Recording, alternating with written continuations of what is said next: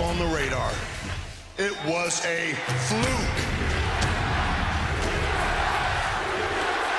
That's a you tapped out, Ken. Batista certainly did. I'm entitled to a rematch.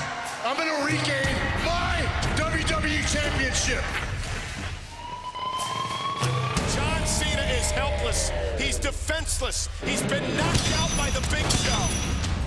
And Batista gonna prey on the man who took the WWE title from him at WrestleMania.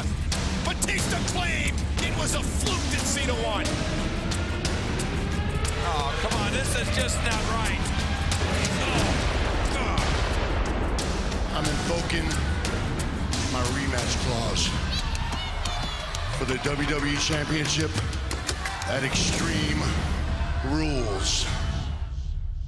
And you won't be making anybody tap out because you can't win that way. The only way to win is to be the last man standing. Batista versus John Cena for the WWE Championship. It's a last man standing match. You win when your opponent can't get to his feet by a count of 10. I don't care